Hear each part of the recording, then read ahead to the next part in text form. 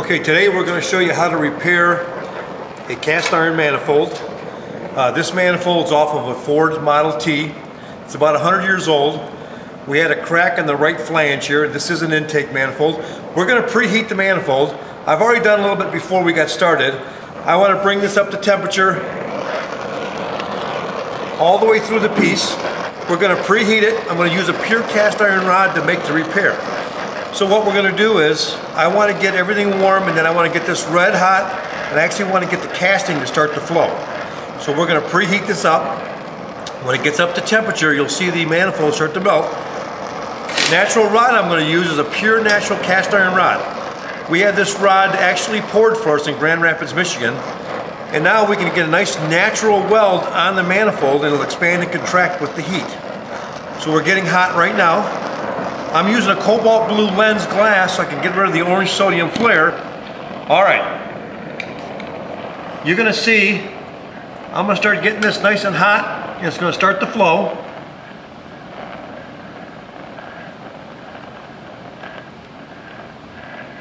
There, she's starting to flow right now. And we'll be able to make a nice pass going right across this casting.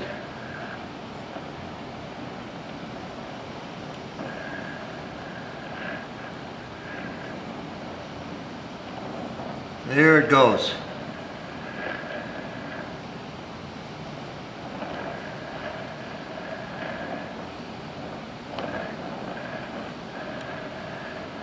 Very natural to the material. Now this will become machinable. We can machine it, drill it, tap it. If we had to replace an ear on here, we could uh, build that ear up, drill it out, put it on the lathe or uh, put it on the uh, Bridgeport, machine it out. If you need a little more flux, just take your rod and re-dip it in there. Come right back to your surface. Get your material to flow. Make sure your manifold, the base metal is flowing when you add your filler. The filler will flow right in.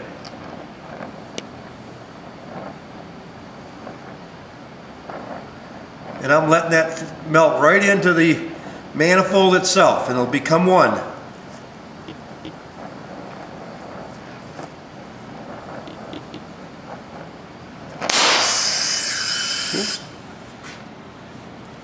All right, we've completed that weld. It's a nice clean weld. I just happened to stick the tip down inside the uh, casting, cause it to pop off. But as you can see now, if that's a little bit below the surface, I actually can build that up without a problem. And we can put a coating right down. So let me do a real quick pass on it one more time.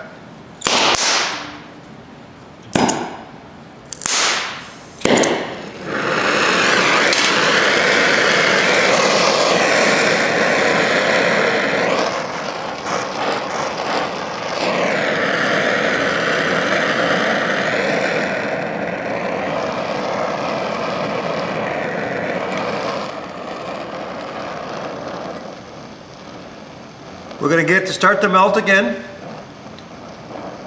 Going to add a rod right on top of it.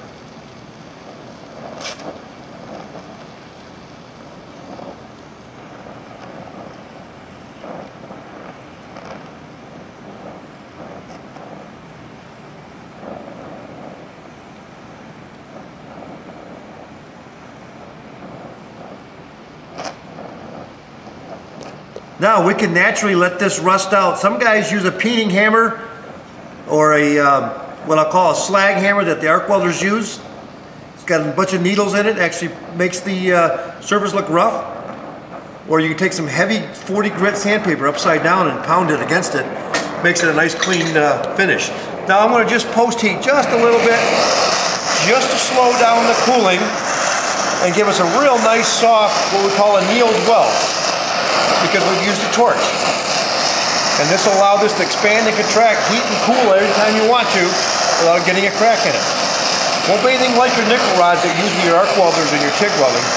This will be a nice, soft, easy to work weld. There we go. We're just going to let it cool down now. Just let it sit naturally and let it cool. We'll be able to clean that up and take a look at it later on.